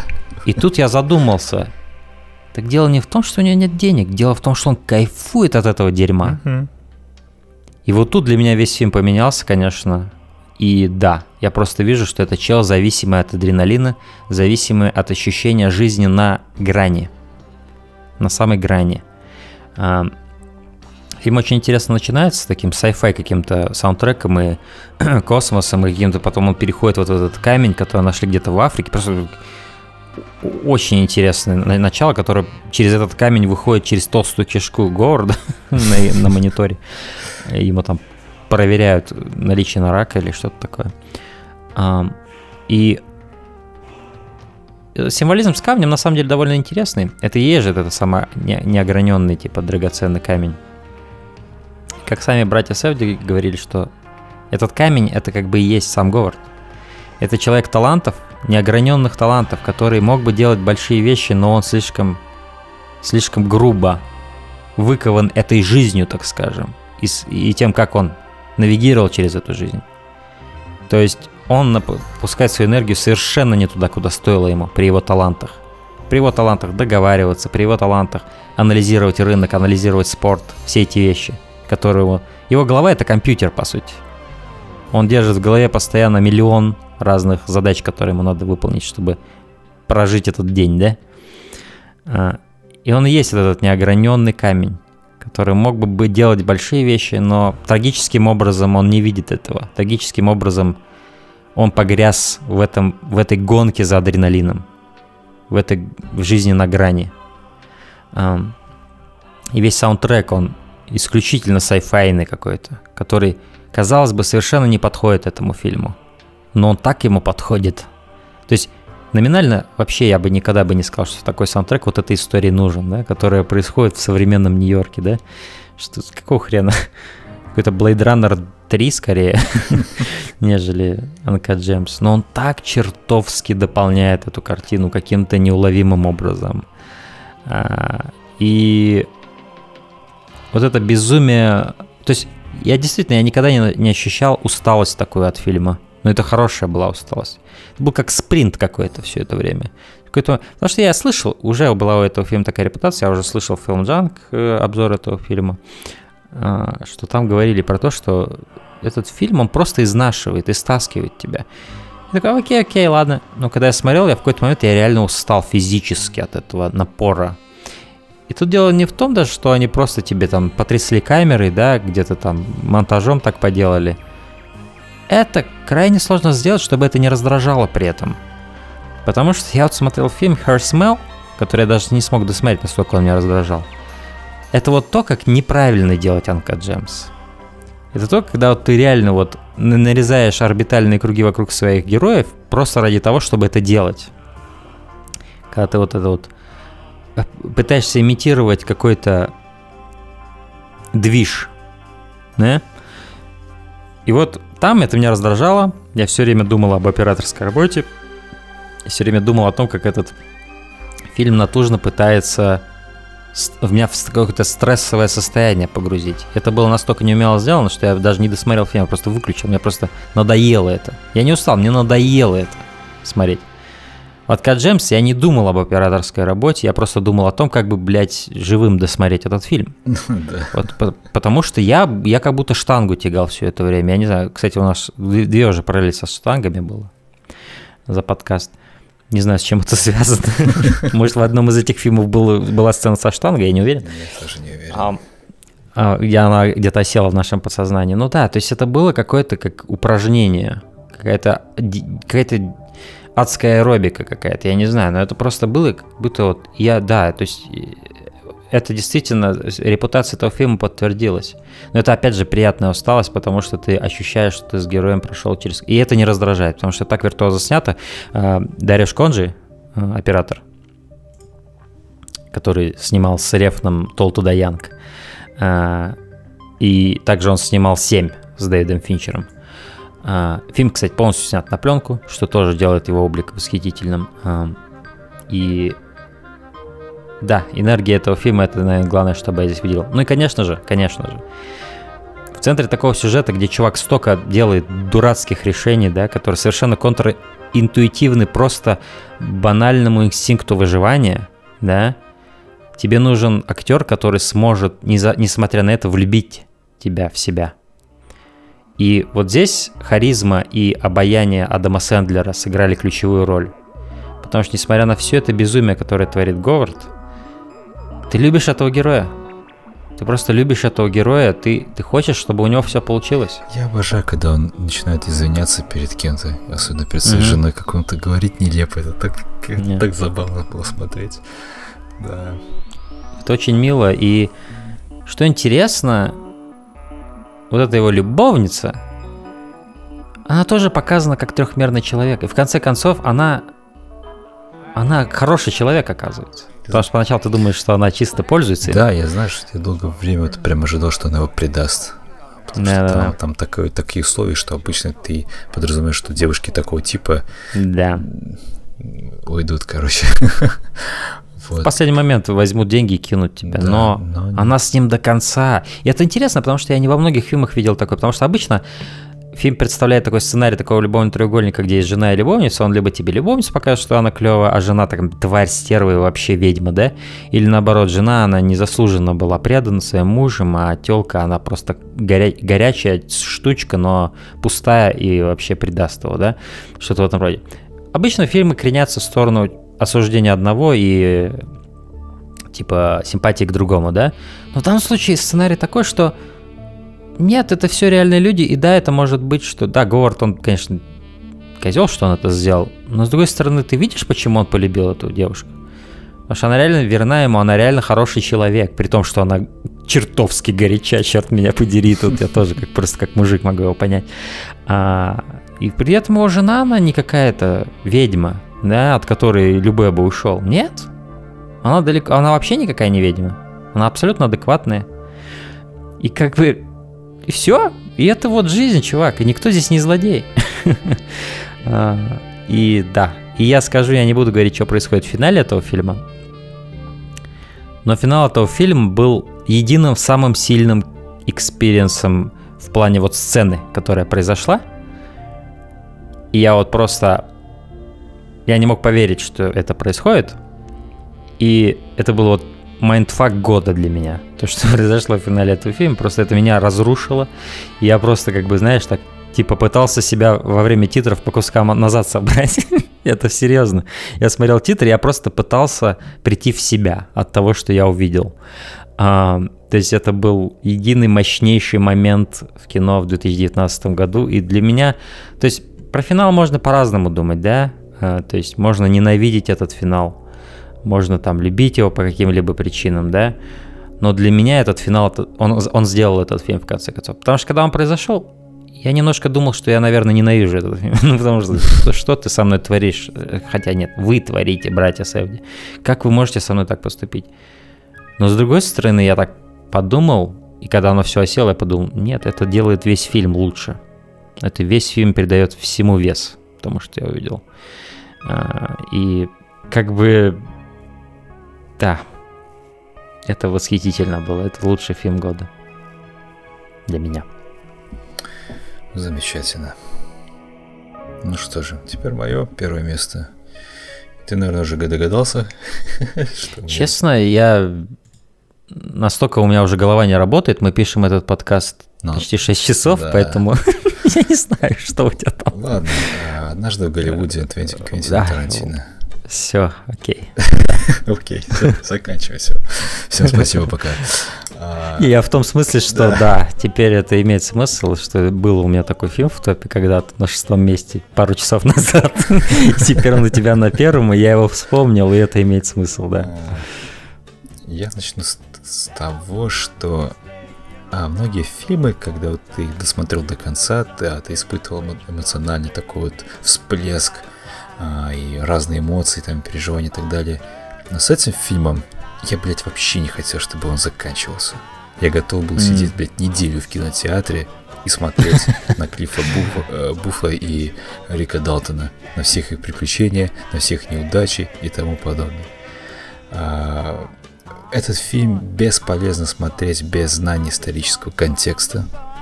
И с этим столкнулись, в общем, с этой проблемой столкнулись многие вот русские зрители, ну, вот СНГ странах, которые, ну, не знают американской культуры, да, ну, понятное дело, почему, не знаю, не, не знаю, кто такой Шерон Тейт и кто такой этот, э, господи, как опять, маньяк этот, я, знаешь, я просто рад, что мы с тобой все время не можем вспомнить, да. как его зовут. Чарльз Магия Мэнсон. фильма работает. Да. Магия фильма работает. Чарльз Мэнсон, да. Я его по Спарку больше вспоминаю. Где его там жестко пародировали. В общем, И э, да, если вы не знаете этот контекст, э, вам будет тупо скучно смотреть этот фильм. Со мной сидел рядом парень с девушкой. Девушка смирно сидела, смотрела э, это кино. Ну, я про кинотеатр, естественно, говорю. А парень сидел и сопел блядь, весь почти фильм. Потом он сядет mm. на левый бок, сядет на правый бок, и такой звук издает. Mm-hmm. Вот так mm-hmm. мне постоянно. Ну, когда-нибудь разрешат насилие в кинотеатрах? Не знаю, так хотелось просто пиздануть раз этому чуваку, просто, чувак, просто не мешай другим людям, пожалуйста.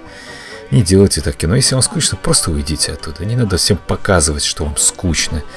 А, вот. И а, а, а все почему? А потому что все привыкли, что Тарантино снимает что? А, расчлененку какую-то, жестокость, насилие, это все весело, экшен такой, да, кровавый, это все задорно с попкорном смотреть и смеяться. Но тут произошло нечто другое. Квентин Тарантино снял такой вот прям абсолютно не похожий на другие свои предыдущие фильмы. Такой вот авторский очерк, наверное, воспоминания больше о той эпохе, которую он, безусловно, любил и всегда будет любить, и к которой он постоянно возвращается, потому что все его фильмы, так или иначе, это гигантский амаш на э, киноиндустрии 60-х, 70-х.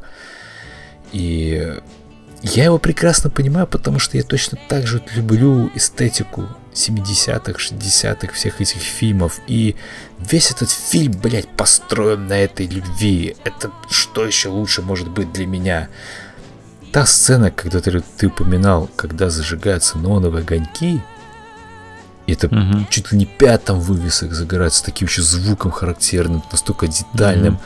И мне просто мурашки по коже шли. Я прям такой, господи, как, какое же это охрененное кино. Mm-hmm.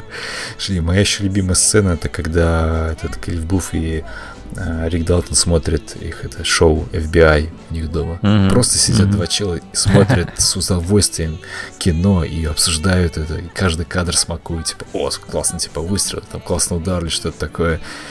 Mm-hmm. Господи, в этом столько было любви. Вот ты прям ощущал, с каким трепетом подходит Квентин, э, создавая весь этот мир, именно своих воспоминаний. Все эти вывески, стиль одежды, музыка, кино. Этот фильм, в принципе, описал то, зачем, наверное, мы смотрим кино. Чтобы вот как-то вот немного преломить вот эту реальность, да, и немного побыть вот в этой самой сказке – и попробовать поискать там какие-то ответы. Вообще, вся эта интрига была заранее, конечно, понятно, что как, блядь, он разыграет эту сцену. Он позвал mm-hmm. Марго Робби. На мой взгляд, идеальный вариант, чтобы, ну, сопоставить Шерон Тейт, потому что Шерон Тейт была просто невероятно красиво, и Марго Робби тоже невероятно красиво. И я просто думаю, блядь, неужели он жестоко убьет Марго Робби в этом фильме? Mm-hmm. То есть я долго не мог... Что... Ну какого же... Вот ты правильно писал, это был просто взрыв. То, что начало происходить. Кинотеатр взорвался просто, все стали аплодировать. А, mm-hmm. И ты... И, и даже и до меня медленно доходит, что, блин, так это он собирается... Так, то есть убийство не произойдет, так вот что оказывается. Mm-hmm. И mm-hmm. такое облегчение сразу стало, и так хорошо на душе. Потому что а, опять же, ты вот правильно заметил, что ты весь фильм смотришь, ты наслаждаешься, но ты, типа, тебя не покидает ощущение, из-за чего мы здесь, собственно, все собрались. Yeah. Шерон Тейт и эта самая семья, это которая... А, вся еще трагедия в том, что ее убили-то по ошибке на самом деле. Они-то ломились. Они должны были убить какого-то музыкального продюсера, который там отшил этого Мэнсона. Uh-huh. И они вломились в дом Шерон Тейт. И они uh-huh. убили ее. А, и это невероятно жуткая трагедия, которая, по сути, интересно, каким был бы Голливуд и, в принципе, киноиндустрия, если бы не случилось это. Потому что, если так посмотреть на кино 70-х американском, да, какое да, оно стало да. мрачным. Ну, это еще после Вьетнама да, обоначилось очень все. все. Аккумуляция такая произошла, да, невероятная. Да, да. А, угу. Вот, и э, что еще можно сказать про этот фильм? Я, я когда он кончался, когда вот, вот ворота вот эти открываются перед Риком да. Далтоном и закрыл, блядь, я просто плакал. Какая-то да, музыка. Да, да, да. Я сидел... Музыка как будто из какого-то фильма 50-х или да, 40-х такая. И появилась такая надпись The End. И. Какой-то классический голливудский оттенок у всего. Я просто, был. я просто, я не хотел, чтобы этот фильм заканчивался. Настолько mm. в нем была приятная атмосфера. И я белой завистью завидую Квентину Тарантино просто потому, что он жил в то время, и он смаковал mm-hmm. все это. Потому что мне это не дано, я это... Да. Воспринимаю просто вот, смотря архивные записи, смотря вот такие вот, слушая рассказы Квентина Тарантино самого, как он рассказывал, mm-hmm. как просто они ехали в машине и слушали радио, как это было круто. Mm-hmm. А сейчас этого уже нет. И э, этот фильм был окошко маленькое такое, почти трехчасовое, но окошко посмотреть на этот вот какой-то магический мир, который тебе недоступен. Поэтому это несравненные эмоции я получил за время mm-hmm. просмотра этого фильма. И ничего подобного, наверное, такого вот я прям не испытывал. Настолько вот, понимаешь, а, вот как я говорю про Виталина, что это уникальные эмоции, но там более связано с мраком, а здесь уникальные эмоции связаны с какой-то радостью и теплотой в душе, приятнейшей mm-hmm. ностальгией тем временам, которые ты никогда не был, никогда не увидишь. А, как той песни Goodbye America, о, где я не был никогда.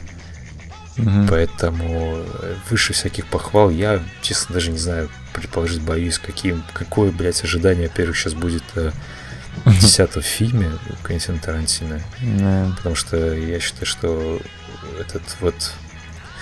Если бы был бы однажды в Голливуде десятым фильмом, я был бы не против. Это, мне кажется, было бы... Это на самом деле Тарантино немножко себе в ногу выстрелил, потому что вот это идеальный десятый вот, фильм был. Именно, потому что это прям вот красивая такая точка на всю его вот фильмографию. Да, да, да. Что будет дальше, я не знаю. А если он сейчас с Стартреком все закончит, это, это будет такой ну, типа... Я отказываюсь это принять, я не хочу. Это, это как бежать, знаешь, 100-километровый какой-нибудь марафон, а прям перед финишем да. в штаны насрать просто и упасть на асфальт и все смеются. Ну, я не знаю, как можно после «Однажды в Голливуд» закончить стартреком. Это... Я, я надеюсь, этого не случится. Я тоже очень сильно надеюсь. А, поэтому пусть он даже, знаешь, будет бесконечно кормить обещаниями, чтобы десятый фильм он таки не случится, допустим. Mm-hmm. Но если это закончится Стартреком, блядь, каким бы там ни был фильм, это не то, что нужно заканчивать карьеру такого, блядь, талантливого режиссера. Поэтому, mm.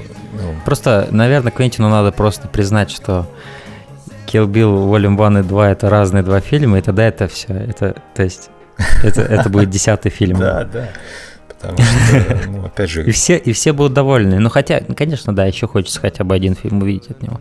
Безусловно. Да не один, и не два, и не три. Я готов смотреть, смотреть от него фильмы. И просто хотя бы, знаешь, даже с первых кадров, когда ты видишь этот фильм начинается, тебе видно вот эта вот стилизация под интервью, там, 50-х, а, когда там, да, на съемочной площадке какого-то вестерна интерьер mm-hmm. общается с этим э, Брэд Питтом, Ди Каприо. Я уже тогда все, я уже расползся. Господи, все, это, это будет охуенное кино, все, давайте больше, больше мне этой эстетики. Поэтому да, Причем сам работы... Тарантино сказал, что вот этого черно-белого фильма они наснимали там достаточно, чтобы мини-сериал сделать, Бля, по-моему, ну, насколько. Вот вот это бесит меня, на самом деле, всегда, потому что тот фильм, который, допустим, тебе супер нравится, да, и ты узнаешь, что, блядь, еще вот этого фильма, этой, этой эстетики, mm-hmm. которая так тебе нравилась, еще овер до хера часов, но ты, чувак, этого никогда не увидишь. Да. И ты такой, блядь, и что мне с этим делать теперь? Как мне с этим жить? Дайте мне больше, блядь, Рика Даттона, сделайте, блядь, сериал про него, пожалуйста. Потому что актерские работы в этом фильме, ну, блядь, это просто дуэт. Я, конечно, я несколько был скептически относился к дуэту Брэда Питта и Ди Каприо, потому что... Он слишком сладкий. Слишком, Он да, слишком да, такой приторный, да. Ну, бля, угу. получилось все очень и очень круто. И все-таки каст был правильный. Потому что мне нравится, как... Моя любимая сцена, наверное, с э, Риком Далтоном, так, собственно, когда он начинает ругаться на самого себя в этом, в трейлерном своем этом вагончике, mm-hmm. когда он просто начинает так вот заикаться, это было очень смешно. Когда он, понимаешь, и шуш, э, в этом фильме, конечно, дохера просто юмора, естественно, это фильм Тарантино, когда он э, говорит, типа, все, больше не бухай, потом резко берет этот флакончик, начинает пить, потом резко швыряет. А, черт побери. Или, например, шутка, когда в самом начале фильма он плачет в плечо этому Клиффу Буфу, и он такой, типа, Клифф ему говорит, это, что не плачь никогда перед мексиканцами. Это была очень смешная шутка. Вообще, Клифф Бут это, это такой мачо-чел, Вообще. Да. Я, я хочу еще одну просто... сцену упомянуть, когда он наказал этого гопника, блядь, хиппи, которому там да. проколол колесо. Сука, такое, согласись, такое клевое ощущение, когда гопников, ублюдков наказывают в фильме, да. блядь. И просто что... Вот мы, мы всегда хотим казаться, что типа мы выше насилия, да? Да. Мы, мы, мы должны быть выше оскорблений, которые в наш адрес летят. Но когда... Но черт побери, это ведь такой катарсис наказать пидора. Просто. Да. Причем, и ты такой думаешь, блядь, сейчас тебя Кривов покажет. И ты прям желаешь, чтобы он вмазал. И там такой, сука, смачный удар был. Ну, Брэд Питт идеально играл этого спокойного чувака без амбиций, по сути, Да. которому просто достаточно то, что у него есть. Это просто... И он кайфует от этого. И кто настоящий богач? Тот, у кого куча недвижимости, но который все время неспокоен, или тот, который живет в маленьком домике на колес, но который просто кайфует от жизни? Да, да? мне нравится, мне, во-первых, нравится его эта желтая рубашка гавайская такая, она просто Мгм. охрененно с этим огромным э, бляхой, огромный блях у него на ремне, с этими ковбойскими, короче. Он ботинками. выглядит как Роберт Редфорд в этом фильме, молодой Роберт Редфорд. просто восхитительно. И мне еще нравился этот э, момент, когда он приехал на, собственно, налоговую этих вот э, хиппи, э, и Мгм. там такая фраза была, типа... И там он приехал с девушкой, кличка которой Пюси. Пусть И да. там такой говорит, we love Pussy. Он такой, oh, yes, you are. Да-да-да. И ты, и ты, и ты, и ты видишь, что за ним много мудрости. Он как ковбой, по сути. То есть он, он, он оставляет ощущение такого повидавшего жизнь чувака. вот это мне нравится. убил собственную жену. Да, вот это тоже забавный момент. Ну там это открытый момент, опять же, не показано. Ну, тебе просто показывают, Блин. как он такой с гарпуном, блядь, поворачивается. Да, да, да. Кстати, насчет этого много вони было. Ой, слушай, его не было по поводу Брюса Ли, а, что, типа, его там показали Да. каким-то, блядь... Его панком показали. да. Зачем? Да, блядь. Я не хочу даже обсуждать потому что... Пусть для меня этот фильм будет такой светлым ангелом, блядь, в потоке вот этого информационного говна, блядь, который его пытался окутать, пытались как-то специально очернить. Ты понимаешь, какая ситуация, что вот выходит что-то, его как-то вот пытаются специально к чему-то доебаться, вот как-то докопаться, что-то вот найти, какой-то гнилью. Это, это отвратительно. Мне просто, мне просто было жалко Квентина отвечать на эти постоянные вопросы, связанные с этим, блядь, Брюсом Ли. Конечно. Квентин всё- на любой, ответ, на любой вопрос, в принципе, отвечает как только фанатик, что, блядь, ребята, я смотрю кучу интервью с ним, и там вот он, он там такой вот есть, он такой вот заносчивый, такой вот зазнавшийся человек. И, в принципе, в фильме я не считаю, что он показал как-то, ну, каким-то там побежденным. Во-первых, там 1-1 был матч. Мгм. А, во-вторых, э, не знаю. Короче, для меня это лучший фильм года, это лучший опыт кинопросмотра, просто как процесса года. Поэтому я, я в восторге. Фух. Да, я, я пересматривал его один раз дома, а, и это вот один из тех просмотров, который просто погружает тебя и комфорта много создает в доме, просто от того Да. факта, что ты его смотришь. А, Это, это, это действительно тот фильм, который стоит включать, когда тебе надо немножко расслабиться и немножко повеселеть немножко, как бы, ну, опять же, да, тот самый фильм «Теплое одеяло» такое. Накрылся. Как и, в принципе, любой другой фильм Квентина Тарантино, на мой взгляд. Да, Ну, у него есть, конечно, жесткие фильмы Но все равно это как-то «Бесславных все так, ублюдков». вот так вот сделано, что ты просто тебе нравится это, понимаешь, даже если жесткие какие-то моменты и так далее. Ну, блядь, м, это необъяснимо словами, но он, он, он в этом мастер. Да, он мастер, это правда. Наверное, мой второй любимый режиссер после Рефна Тарантино, потому что буквально каждый фильм в его фильмографии мне очень нравится. Эм, Поэтому посмотрим, куда дальше пойдет эта фильмография, и будем надеяться, что это будет все-таки не один фильм. Квентин, бросите шутки, бросите дурацкие игры. Э, Опять же, два плохих фильма можешь снять, но если после этого будет еще один шедевр, оно того Оно стоит. того стоит, Оно да. того стоит. Это, по сути, вот, блядь, единственный сейчас режиссер, который имеет место вот понтовую такую надпись «Девятый фильм Квентина Тарантино». И да. все-таки все, все поняли, разошлись. Все, я понял, Да. чувак. А, Что ж, да, такие вот наши топы 2019 года. Год был силен, потому что, а, ну, по сути, это рекордное количество пятерок, как я уже сказал, Мгм. это получается 6, потому что на шестом месте у меня как раз однажды в Голливуде, и он тоже получил 5.